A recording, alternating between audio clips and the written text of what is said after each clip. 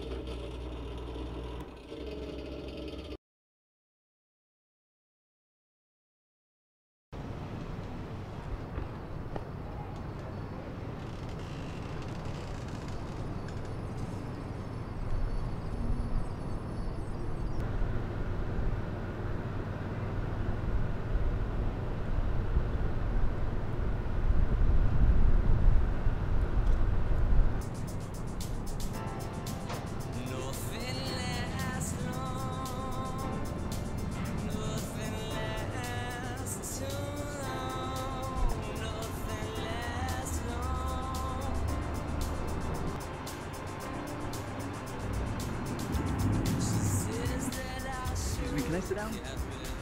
Sure. I'm sorry, I don't mean to be creepy. I just, uh, I gotta take you out sometime. Okay? okay, alright. Can you put your phone number in for me? Okay, I'll see you.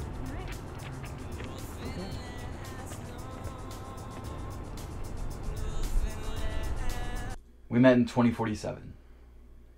We were young then, but I I knew I loved her right away. She was breathtaking. She looked up at me with those big old eyes and smiled, and I knew right then.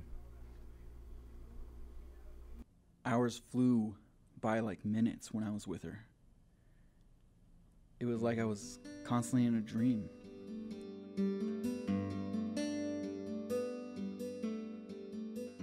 I can remember the way she looked up at me like she was trying to tell me a secret with her eyes.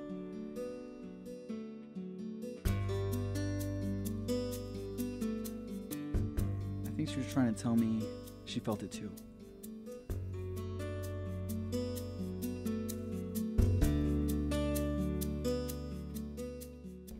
I don't know how it worked, but it did.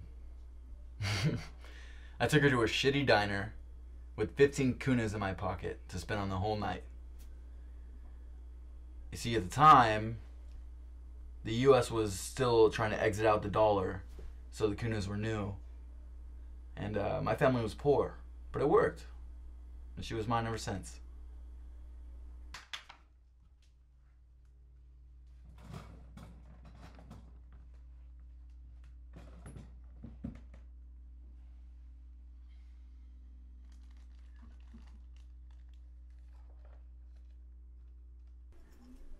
Well, it happened all at once. First, it took my sister-in-law, and we were we were shocked. We didn't think it would ever happen to us. We thought the government or someone would take control of it at some point. But then it took my brother, and then his two kids, and then it took my parents. You wonder if you ever have enough. You wonder if at some point you're not going to be punished anymore, or, you know, God's going to give you a break. You know, you have hope. I mean, one morning I woke up and I just, I knew. I took Heather to the hospital and she was gone. Come on. Let's go.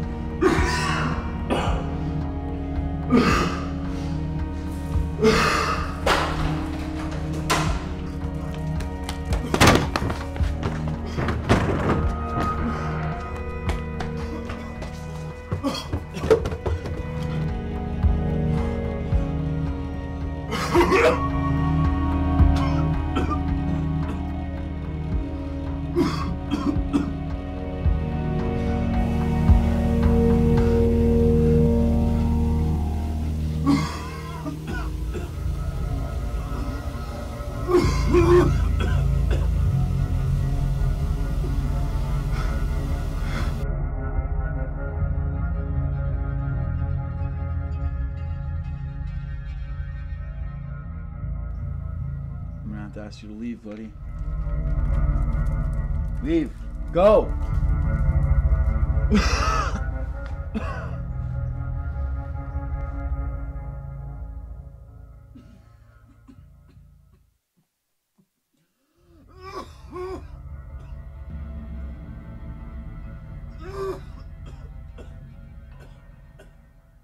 I always had to take care of the people around me, which was fine. Was okay with it. But now that now that I'm infected too and I don't have anyone here to tell me it's to be okay, that I'm to be all right. Even though I know it's not true. It'd be nice to hear.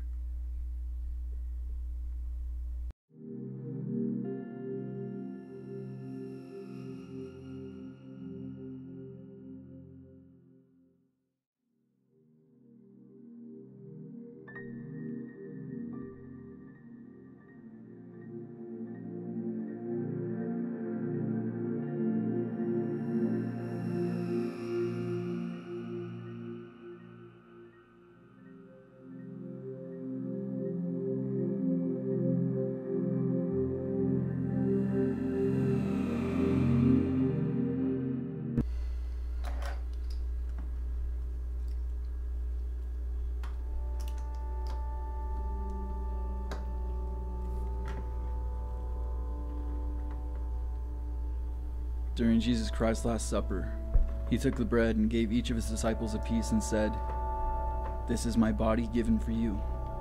Do this in remembrance of me. Well, I don't have any bread, but I do have some crackers. He then took wine and shared with them and said, This cup is the new covenant in my blood, which is poured for you. I don't have any friends to share with, but I do have a bottle of red wine saved when I was hunting for food in the convenience stores.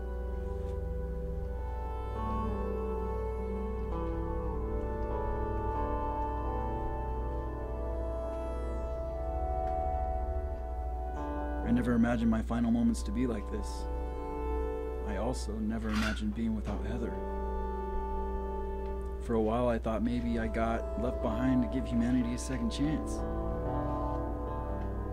But maybe God decided that we don't deserve one.